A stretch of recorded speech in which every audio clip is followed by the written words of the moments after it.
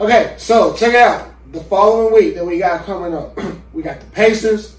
We got Kemba Walker coming back into town on Thursday with the Celtics. We got the Pelicans, and then we got the 76ers wrapping up on Sunday. What's our record? One and three. One and three. I'll go one and three. One and three. Okay, Vince going out on the limb. Vince is gonna say two and two. I'm I'm I'm going to say something that I may regret next week. I'm going to go out on a limb here, and Oh. I'm going to say we beat the Celtics.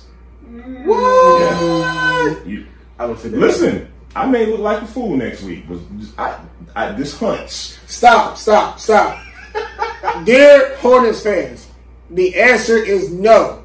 You cannot wear a Kemba Walker Boston Celtics jersey on you, Thursday. You, you are a straight clown. can wear that one. If, if- Right. if you are a Hornets fan, you only can wear a Hornets jersey. Okay, so just want to throw that out there. All right. I, I got into a big Facebook argument with uh, John, why are you arguing with a Facebook, chick man? who said, "I can't wait till S- Kemba Walker comes back so I can wear my Celtics jersey." I, I'll just keep it. We- at that. We'll be sure to clown her Well, too, okay? yeah, so- All right, so look, I want to move on to uh, Coach JB. So, um, you guys know I've been pretty critical of JB over the summer because what he wanted to do last year, mm-hmm. he went away from it in more ways than one. Mm-hmm. And he's kind of had that same philosophy this year, but he's actually following through with what he said he was going to do. So, give me your guys' initial thoughts on JB after the first couple weeks of the season. Let let me say something to what you just said first, and and I usually don't think this way, but I got a hunch.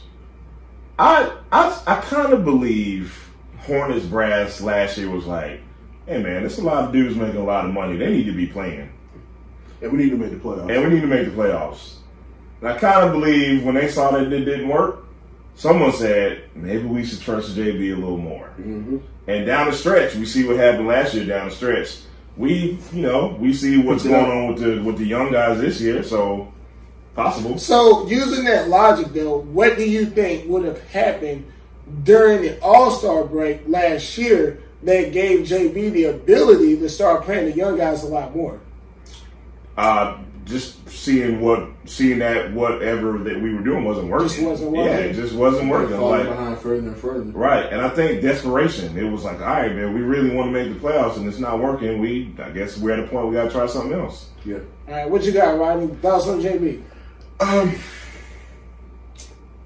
I apologize for calling him Spanish Sam Vincent. That's completely disrespectful. Sam Vincent. Man, I, I was, Sam I, Vincent. I remember that. I remember I- I that. said that. I Oh my that. god. I can say that because I'm part Spanish, though. But, No, no, uh, I'm talking about Sam Vincent. Sam Vincent is a way worse insult than Hey, any man, I'm racial stuff. I'm sorry, man, but uh, My goodness, right? he's really impressed me with, with his adjustments. Okay. And, and him trusting, I think I just got a blood clot thinking about Sam Vincent. and, and, and him actually trusting the young players, and actually seeing the young players actually develop under him and get better, making better choices. Uh, Bacon came out a little slow Yeah. this year, but last night he, he lit it up. He had 25 points. Yeah, 26. 26. And then uh, Rozier, He's gotten better. he's got he's gotten better through the year. And uh, you you remember all the talk? He never shot over 40. Well, he's at 43 percent now. Yeah, well, well, let's let's wait until we're a little bit further in this season. Hey, man, I to point that out before we start saying names and calling people out, and we'll we'll do that later. Okay. and then and then even you look at Malik Monk. Uh-huh. He's not averaging the points. Are you ready? Are you ready to apologize to Malik Monk yet, Rodney?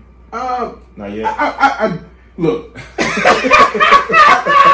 I criticize people that need to be criticized. We all do. I, I'm Yeah. impartial. I, I, I. I criticize everybody who need to be criticized. And I ain't gonna sit here act like I wasn't on your train. and, and, and, so. and, and then like even before the season started, I said I hope Malik Monk's ready. Yeah. and put the work in. we are rooting for And, him. and, and I ain't saying nothing bad against the kid Right, all year. right. Even though he was sucking the first three games.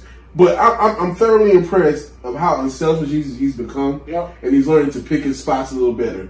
And I, I honestly don't. I'm saying this out of my mouth. Honestly think, think I honestly think that breakthrough is coming through pretty soon. You know what's funny about Malik? I mean to cut you off, but you know what? I, you know what I'm noticing about Malik Monk? Believe it or not, He's like actually engaged defensively. Yeah, yeah, like yeah, I'm yeah. just like, who is this dude? Like, like I, I feel like whatever light bulb went off, or, or, or somebody talked to him or something. Like he just looks so much more engaged now. He's that hard headed kid that, that finally gets it on his last chance after getting his ass whooped all these years. right. I told you not to. Uh, he I- I put his get hand on the stove. Yeah, he put his hand on the stove and he's like, oh, that really burns. He's trying to play defense. It's up, man. So what?